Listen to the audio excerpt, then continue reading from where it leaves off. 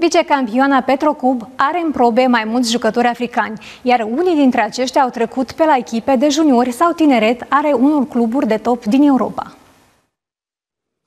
Este vorba despre George Lewis și Callum Chasey care au făcut junioratul la Arsenal, respectiv Tottenham. Cei doi ar putea semna cu echipa din Hâncești în următoarea perioadă. De asemenea, la echipa antrenată de Andrei Martin sunt și alți jucători africani, soarta cărora se va decide până pe 9 februarie. Pentru vicecampioan urmează un stagiu de pregătire în Turcia, acolo unde Petrocub are planificate mai multe meciuri amicale, printre care și cel cu Dinamo Kiev.